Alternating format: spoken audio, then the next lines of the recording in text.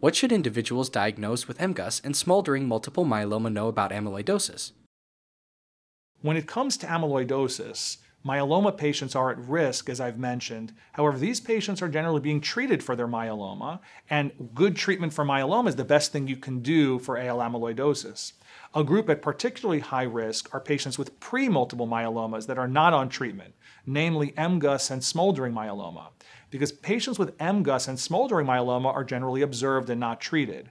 And if their abnormal protein can form amyloid, they can slowly start to get sick while not being treated at all. So that's definitely a group of patients that we focus on very carefully. And when we see them regularly, I'm not only asking them questions about how they feel with a myeloma perspective in mind, any new bone pain, for example. I'm also asking them questions about shortness of breath and weight loss and um, more bubbles in their urine when they urinate, a sign of proteinuria, because these are some signs that amyloid could be developing. So the MGUS and smoldering population, we need to be paying careful attention to them because they can certainly develop amyloidosis. And if they do, we would want to jump on their disease and treat them. No more observation because their abnormal blood disease, their abnormal proteins are hurting them. And in that case, they must be treated. Why is it a good idea for a person diagnosed with smoldering multiple myeloma or MGUS to be followed by a myeloma specialist? You know, when it comes to MGUS and smoldering myeloma, it's true that patients don't require treatment and they're observed.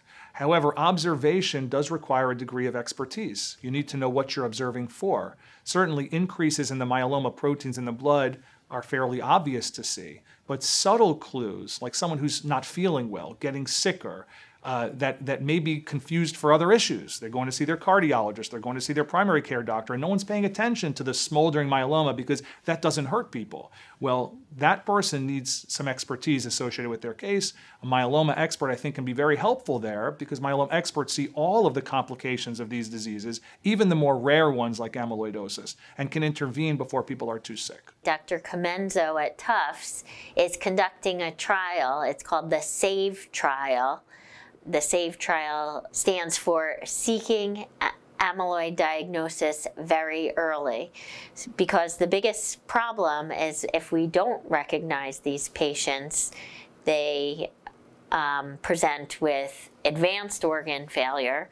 In that trial, patients who present with MGUS and a lambda light chain or, or asymptomatic myeloma and a lambda light chain with an abnormal free light chain ratio, uh, we are screening those patients to see if they have, they can, they produce an amyloidogenic light chain. Uh, distinct from multiple myeloma where kappa is the more common isotype that the plasma cells produce the in amyloid, it's the lambda light chain that predominates. So in patients who have asymptomatic myeloma or MGUS and have a lambda light chain with an abnormal free light chain ratio, we are requesting a blood sample to be sent to Dr. Comenzo's lab where he can type the light chain and um, determine if it is indeed an amyloidogenic light chain based on previous work. What are some symptoms of amyloidosis that a smoldering myeloma patient should be aware of? Patients with amyloid tend to feel very unwell. They are tired, they're short of breath, they mimic conditions like heart failure, they have swelling in their legs, um, they can have just upset stomach or no appetite, they can have diarrhea, they can have blood in their stool, very, but it's very non-specific. And sometimes they can just feel unwell. And most of the time, they have they go to um, multiple specialists to try to understand what is causing their symptoms. But if you don't recognize that this is amyloidosis, then or even think about amyloidosis, then it goes undiagnosed because they're, you know, they they say, oh, you don't have any, or if you have uh, multiple myeloma, but no kidney failure or bone lesions or anemia um, or immune problems, the doctor will say, oh, you don't have any, uh, you have asymptomatic myeloma, but doesn't recognize that fatigue, shortness of breath, um, lower extremity edema, um, or problems like that can be attributed to amyloid as the result of the underlying plasma cell disorder.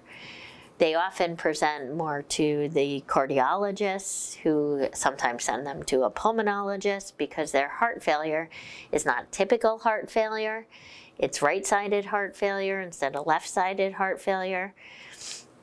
Um, and actually in a um, survey that we did of 443 patients and caregivers, we found that the average number of physicians that an amyloid patient goes to before they get a confirmed diagnosis is four. And 80% of patients um, go undiagnosed for over a year.